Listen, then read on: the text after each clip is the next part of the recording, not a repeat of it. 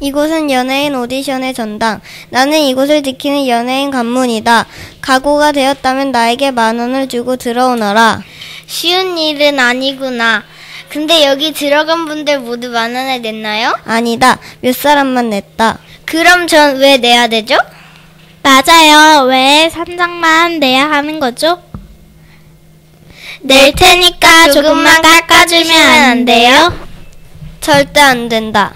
왜요? 꼭 내야 하는 것은 아니지만 너는 내야겠다. 아니, 이 연예인 관문은 나빠가지고 누가 들어가고 싶겠어요. 이제 소문내서 연예인 관문이 나쁘다고 소문낼 거예요. 내가 졌다. 그래, 100원으로 해주마. 현장, 이제 너는 100원 내도 돼. 고마워, 손오공.